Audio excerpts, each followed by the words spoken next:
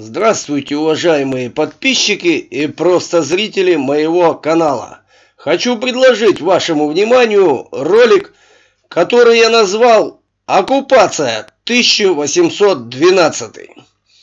Значит, как я вам уже обещал, я вам вот из, этой интерес... вот из этого журнала покажу очень интересные места, а вы сами решите, похожи ли факты, которые я вам сейчас зачитаю, на оккупацию или нет, или может быть я просто ошибаюсь.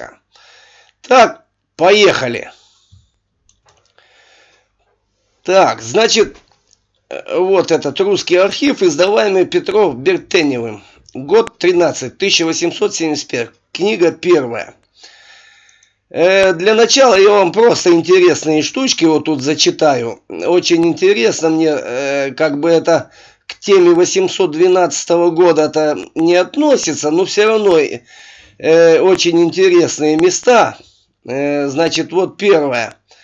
Генеалогические занятия императрицы, императрицы Екатерины II из писем В.С. Попова к Булгакову.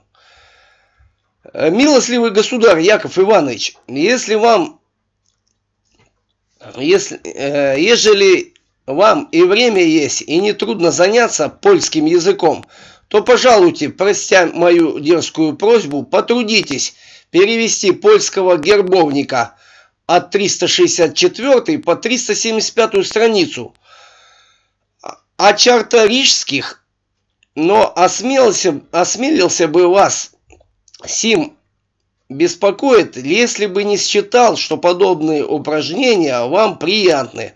Но если я ошибаюсь, то чувствительно обязать меня извольте с нисходительным извинением, с истинным высокопечитанием и, при, и преданностью вашего превосходительства – всепокорного слуги Василия Попова. Признаюсь вам, что этот перевод надобен государине. Вот э, в чем интересно вот это дело, почему императрица, значит, ее заинтересовала, и она здесь хочет узнать, откуда пошли вот такие вот фамилии, значит, э, а советские, совет, э, о советские, советские, спаслицких, спанежских, каминских – вот. Ну, самое интересное, что обратите внимание, 1 августа 793 года, село Царское.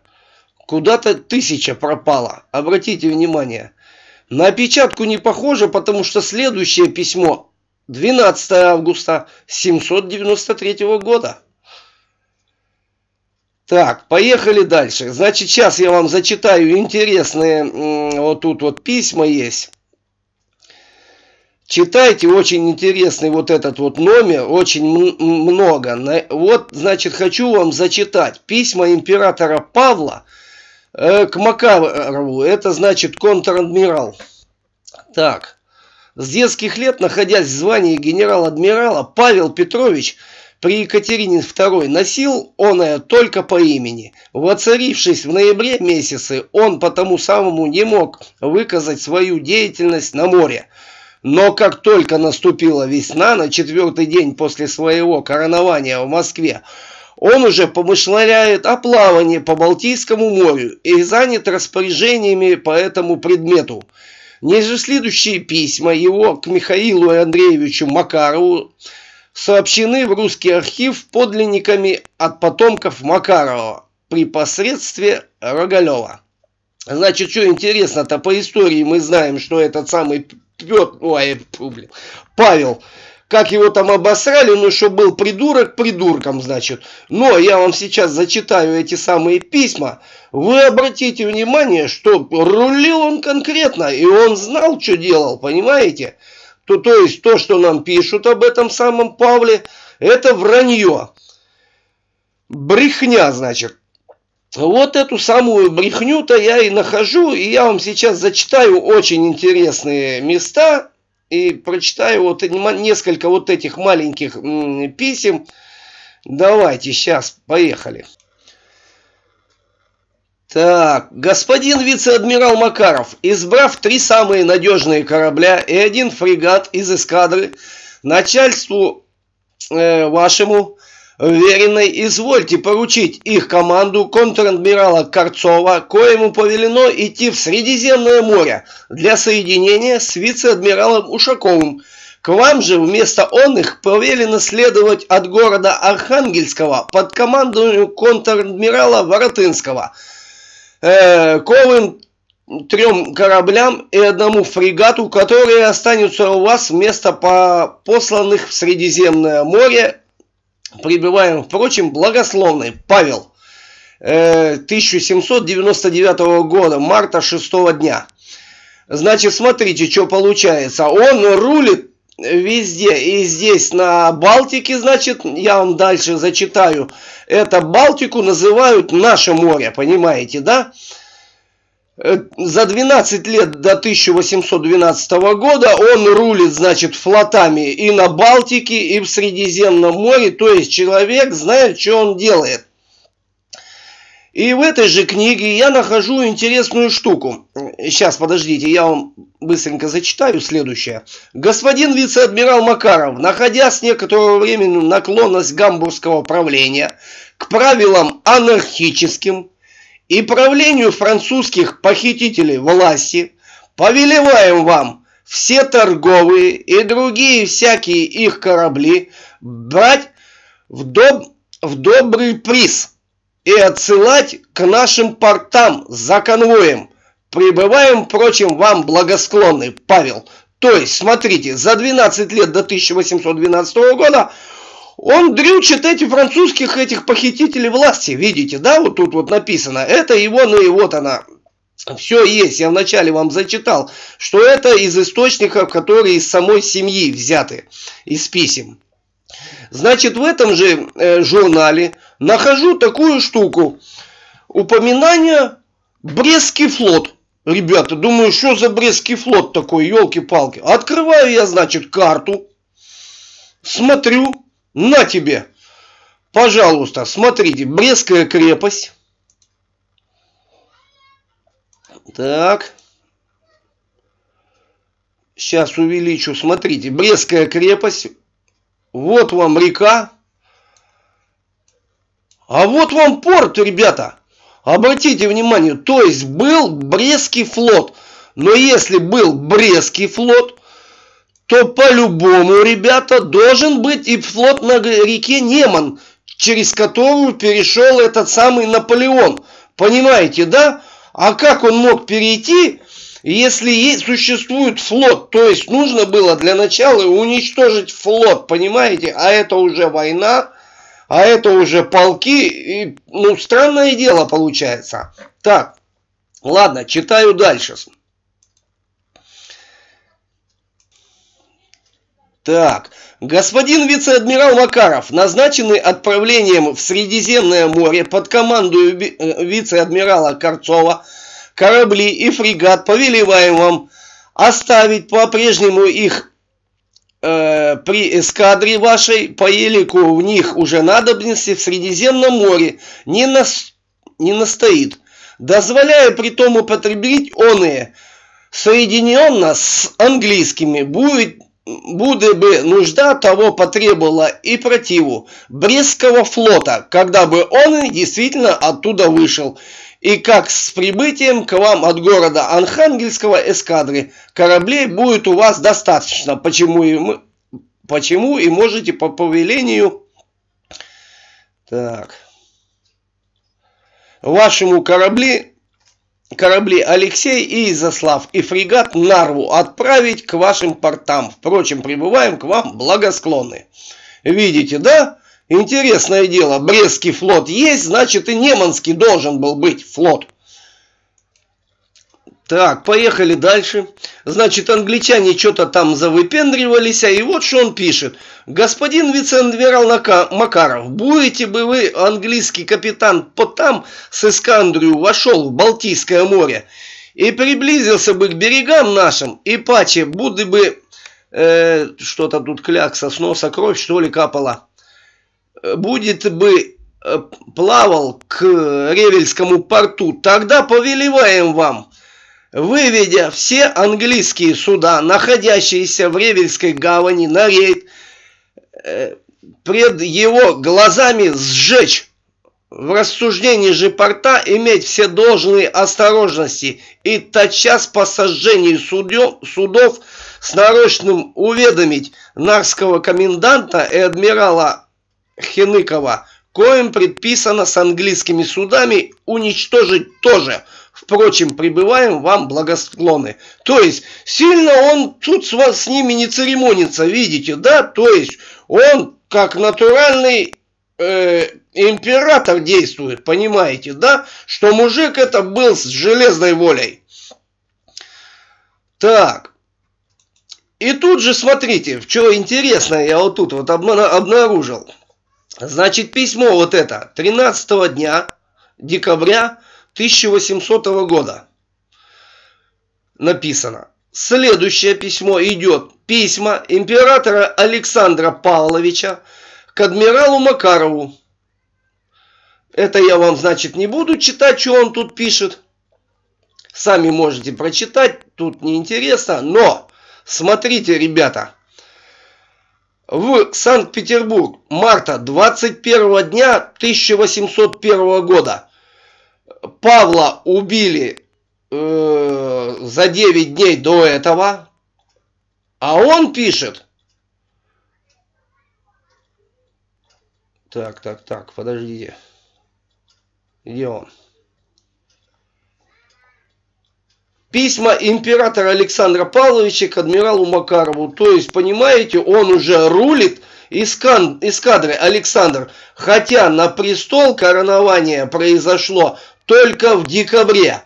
Но вы понимаете, что, э, как бы, сами знаете процедуру. То есть выбрали э, э, президента, но он еще не рулит, пока он не пройдет инаугурацию. Понимаете, существуют правила. И Александр для адмирала Макарова никто и звать его никак, понимаете, да? Что он не будет выполнять его приказания, потому что он еще не император, он не прошел процедуру коронования, понимаете, да? а он ее пройдет только аж в декабре 1801 года.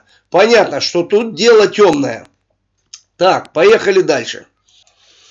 Так, следующее письмо э, уже от Александра э, 12 апреля. То есть прошло приблизительно месяц после убийства императора Павла.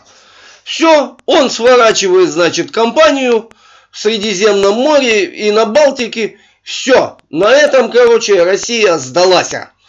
Вот, видите, и он уже, господин адмирал Макаров, вследствие данного уже вам от нас повеления, как скоро, возможно, будет следовать в Кронштадт, то есть льды, тут тыры-пыры тролливали, все он сворачивает, значит, и можете посмотреть по истории, отзывает, значит, казаков из Персии, значит, наши долбили-долбили, и тут бах, этот сволочь приходит к власти, и все, на этом дело и заканчивается, ребята. И вот с этого момента мы приступаем с вами смотреть, как же была эта оккупация. Вот. Автобиографические записки Егора Федоровича фон Братке. Моим детям. Род наш происходит из Швеции. Это значит, я взял, вот этот, значит, чувак, вот этот Егор Федорович фон Братке пишет. Вот из егоных этих записей я вам и буду зачитывать э, об этой самой оккупации. Род наш происходит из Швеции. Мой прадед во времена Карла XII был полковником в шведске и шведским комендантом в Люблике. О древнейших э, предках со стороны моего отца мне ничего не известно. Даже не знаю, принадлежали ли они к дворянству, или мой прадед был первый возведен в это достоинство, к чему, впрочем, я был вполне равнодушен. Мой прадед имел только двух сыновей – которые начали свою службу в Вальденбургских и Галштинских войсках и переселились оба в, поручичьем чине в Россию. К этому переселению, вероятно, побудили их, между прочим, семейные неприятности. Так, ну, тыры-пыры тролливали, но дело в том, что войска альденбургские и гольштинские переселились в Россию. Поехали дальше. Так, поехали дальше. Отец мой родился и воспитывался на острове Элзе и вступил в военную службу. Сперва он был юнкером в Вятском пехотном полку, а потом, будучи фронтовым и кадетским офицером, перешел по настоянию А.Н. Синявина во флот, состоял при нем в генера... э, генеральс-адъютантом, затем в чине подполковника, командовал отдельным егерским батальоном, был дежурным штаб-офицером при генерал-лейтенанте Нумсине – и при столь знаменитом впоследствии генерале Суворове в Финляндии. Затем командовал гарнизон, э, командиром гарнизонного полка своего имени в Риге. Оттуда во времена Павла I, ребята, в чине генерал-майора – назначен комендантом в Полоцке и шефом гарнизонного полка своего имени. Здесь постигла его участь столь многих в силу особого высочайшего повеления. Без всяких причин его выбросили из службы. То есть Павел I выбрасывал со службы инородцев, понимаете, да? Так, и три раза тут вот выбросили, вот выбросили. Еще и главное в кавычках. Выбросили, выбросили. Он тут жалуется, что вот его выбросили. Так. Был очень знаком, прося его сообщить ему о причинах его увольнения. Но получил вскоре ответ, что и сам князь в тот же день был выброшен из службы. Тогда мой отец собрал небольшие крохи своего достояния и, и воспользовался предложенной ему э, тестем и друзьями Сеудою купил сильно запущенное на Двине лежащее имение Верхо, Верховье в 350 душ Витебской губернии в Валишском уезде. Так, поехали дальше. С вошествием на престол государя-императора Александра I отец подал в отставку в 1807 году, жил в Верховье, которое во всех отношениях совершенно преобразилось. В 1807 году по случаю войны с Францией по всей России устраивалась милиция. Понимаете, да, ребята? То есть до 1807 года при императоре Павле не было милиции, а тут устраиваться начала милиция. Понятно, да? То есть готовилось все это дело. Так, но его настоятельно просили приехать на выборы, и он был единогласно выбрал губер... губернским начальником Витебской милиции, а возмещение необходимо умножающих от того расходов. Дворянство также единогласно назначило ему ежегодно по 20 тысяч рублей ассигнациями. Его тронуло сочувствие дворянца, и он не имел духа отказаться от должности, но деньги решительно отвергнул. Таким образом, он переехал в Витебск и занялся образованием милиции. Понятно, сначала он, значит, там э, Витебске, Витебской губернии, а тут сейчас в самом Витебске милицию. Так, понятное дело. Читаем дальше. Вот он сейчас, он сейчас и сдаст своего отца. Смотрите, ребята. Так, поехали дальше. Так, э, где этот бундинг? Буксгенден предлагал отцу поступить к нему в дежурные генералы, а когда это не состоялось, занять опорожнившееся место эслянского губернатора. Ввиду этого места отец мой продал свое имение, свел счеты со своей семьей, поехал в Петербург, но там узнал, что граф, граф Бунден Буксген, ох, ё-моё, Буксгенген уже представил эксклянским губернатором барона Экскюля. Видите, да? Не знаю, что побудило графа Буксгевдена к такому вероломному поступку, но бывшие друзья разошлись с собой. Уважение, которым пользовался мой отец, обратило на него личное внимание императора Александра I. И вскоре он получил место гражданского губернатора на Вятке с увеличенным окладом. Так. Вятская губерния с миллионным богатым казенных крестьян, с миллионом богатых казенных крестьян до тех пор была сильно разоряема управлением до моего отца, а отца и после него. Чиновники, не исключая и губернаторов, быва, бывали увольняемые с преданием уголовному суду. Свой, ой, свой, стес, ой, чтобы настойчивостью восстановив порядок, батюшка управлял губернию 7 лет, и благодаря ему личному э, блистательному надзору во все, э, во все эти 7 лет ни один чиновник не был предан суду. До этого сажали, когда пришел, перестали сажать. Так. Много лет после его кончины император Александр I, проезжая в Вятки, увидел в гимназии портрет моего отца и узнал, что гимназия была им основана. Остановился перед портретом и произнес, это был человек редкой честности и настойчивости. При этом его величество изволил рассказать, что на пути своем он говорил с крестьянами, и все они от мала до велика отзывались, что начиная с незапамятных времен, только при отце моем управление было честное и правосудное. Утомленный служебной деятельностью, страдая от сильного геморроя и совершенного расстройства желудка, мой отец просил об увольнении со службы, но в 1816 году и в конце 1815 года был всемилостивейше пожалован в тайные советники петербургские сенаторы. Он исправлял почти два года в отсутствии барона Кампенгаузена должность государственного контролера и умер в начале 1818 года на пожаре в Санкт-Петербурге. Так, ребята, что я говорю, что он сдал? Обратите внимание, ни слова нет в том, что он воевал.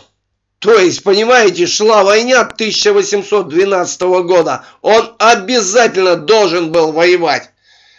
Но тут ни слова нету, понимаете, да? Так, поехали дальше. Так, тут вот он уже рассказывает про себя, как он, про его жизнь в Вятке. И, значит, рассказывают, где он там учился и ездил, значит, по Вятке там и ближлежащие. В Казани мы останавливались в женском монастыре, где настоятельницей была некогда знатная дама большого света, приятельница госпо... Э, госпожи Хитровой. Монастырь следовал новейшим модам. Комната игумени была чем-то вроде парижского будуара. Кушанья самые тонкие, лакомств, лакомств и закусок всякого рода в полном изобилии. Тут воспитывалось множество молодых девушек из лучших семейств, разодетых с отменным вкусом. Они пели на крылосах. Э, в разговорах мне не слыхал я монастырского. Напротив, царствовала полная свобода. Мы прожили тут несколько дней, и мне не хотелось уезжать.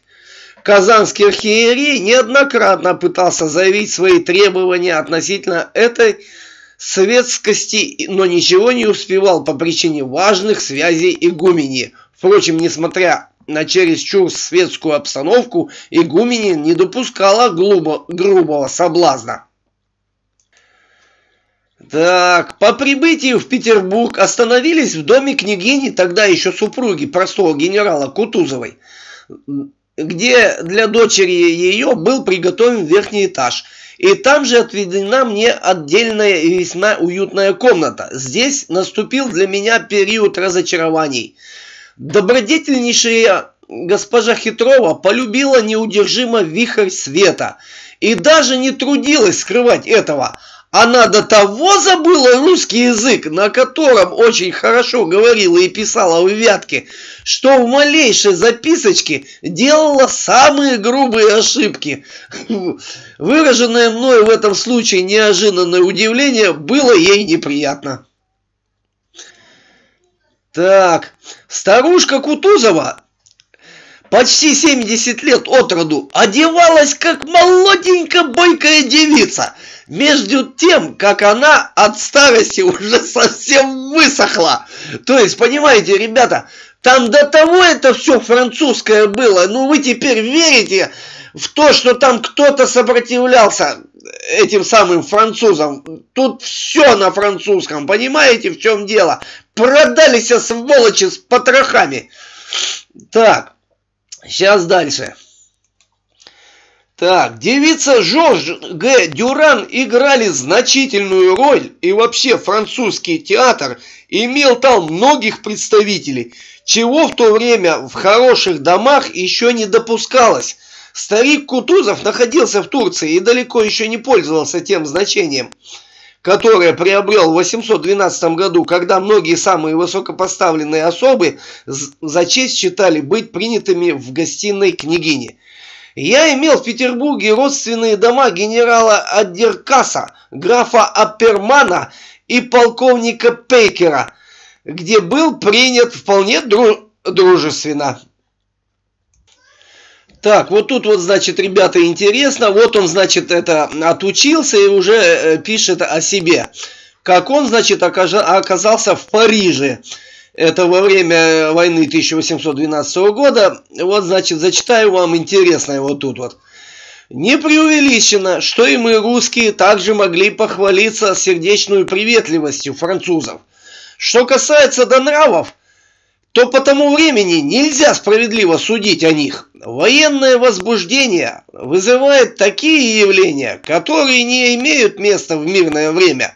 Признаком испорченности были многочисленные и горные, и распутные дома, пользовавшиеся покровительством власти, а несметное количество дерзких девок, которые нахально являлись повсюду, показывало, что зло это не было произведением того времени, но укоренилось издавна.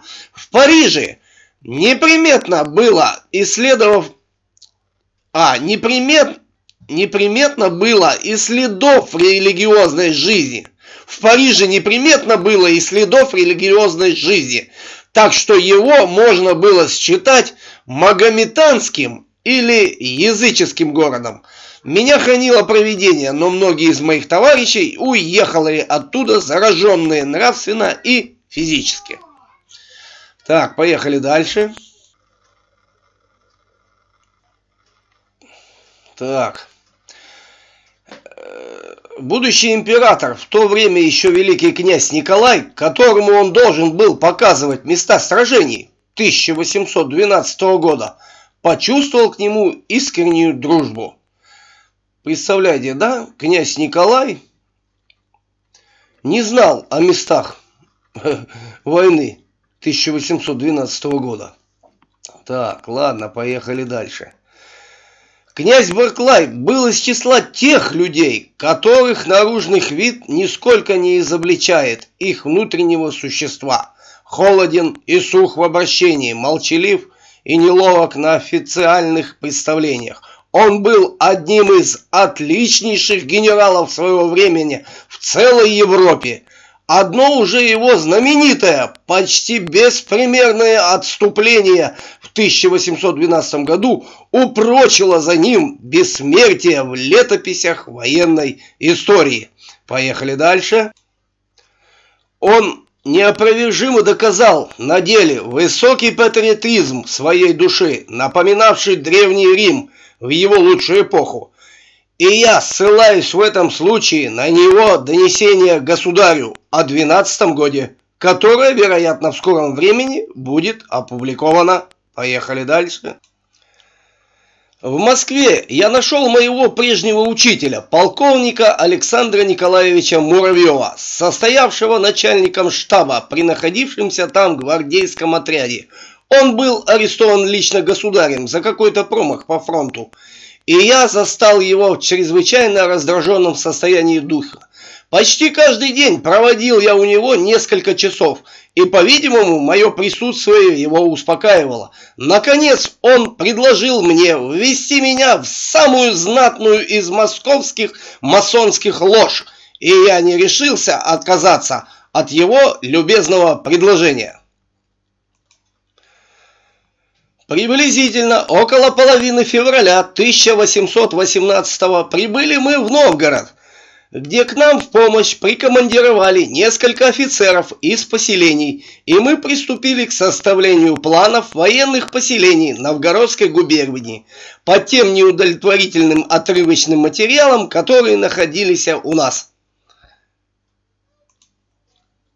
О самом Новгороде много говорить не приходится. Следы древнего, знаменитого ганзейского города сохранились только в, в монастырях, отстоящих от города в верст 10-15 и, и принадлежавших прежде к его владениям. Общество состоит исключительно из чиновников, купечество малообразовано и не останавливает на себе внимания. Губернское дворянство, благодаря соседству Петербурга, предпочитает проживать там – если только имеет на то средства, не выходя в губернском городе ничего заманченного для жизни. Так, что же такое Ганзейский город? Давайте с вами посмотрим.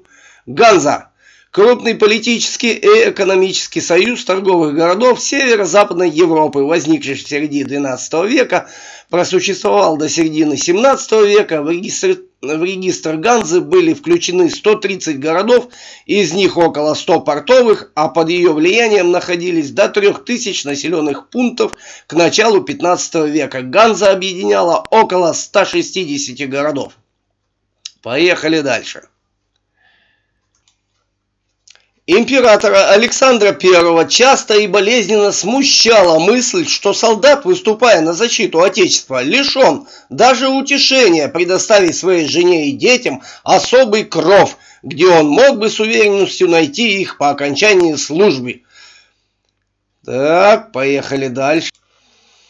Таким образом, Графу было поручено вначале поселить первую гренадерскую дивизию, состоявшую из шести полков в количестве 18 тысяч человек на берегу Волхова или в другой местности на государственных землях Новгородской губернии, когда для того было определено примерно 1200 квадратных верст с принадлежащими к ним населением – то все это было передано графу в его управление и постановлены следующие правила. Все домохозяева крестьянских дворов и все хозяева годные были утверждены в звании хозяев, но в то же время зачислены солдатами в поселенные полковые батальоны. Все остальные совершеннолетние крестьянские поступали солдатами в действующие батальоны и служили к их укомплектованию – В мае или июне 1819 года, еще будучи в капитанском чине, я был вызван из военных поселений в Санкт-Петербург графу. Когда к нему представился, он ввел меня в кабинет свой, разложил карту и сказал «Цвиленев, Генерал-лейтенант, начальник поселений в Могилевской губернии, прислал на утверждение мое множество представлений по делам, которые зависят совершенно от местных условий. Поэтому я посылаю туда вас. Четыре месяца пришлось мне прожить в Могилеве. Я кинулся собирать местные сведения, работал и обсуждал, учился и учил. В одно и то же время и, наконец, оставил генералу Цвиленеву общее наставление их о хозяйственном управлении колониями. И еще раз, ребята, я учился и учил. В одно и то же время и, наконец, оставил генералу Цвиленеву общее наставление о хозяйственном управлении колониями, ребята. Поехали дальше. Ну и напоследок, в заключение ролика, прочитаю еще одно. Здесь я нашел, это значит его прислали уже в Херсон. Херсонская область, или как там, ну поняли, значит, юг. Здесь я нашел этих прежде столь зажиточных поселян в величайшей нужде и бедствии, и мне нетрудно было открыть причину этого грустного положения. Когда полки вступили в пользование определенными им участками и приняли на себя управление – Ими овладело пламенное усердие к, польз... к пользам казны, и они по отношению к доставшимся им природным богатствам не довольствовались выручаемым обильным содержанием для своих людей и лошадей, но старались накоплять наибольшее количество запасного хлеба и сена. Этой цели они без сомнения достигли, хотя и тут целые стада крыс уничтожали добрую половину но в то же время полки отнимали у крестьянина лучшие земли, делали огромные посевы без всякого соображения с трудовыми силами и предоставляли крестьянину лишь скудный остаток времени на его собственное хозяйство. Так как пахота при продолжительном лете может производиться долго и труда по, по удобрению не существует, то эта система была бы еще менее вредна для материального благосостояния поселенцев. Но во время уборки, когда... Э, так...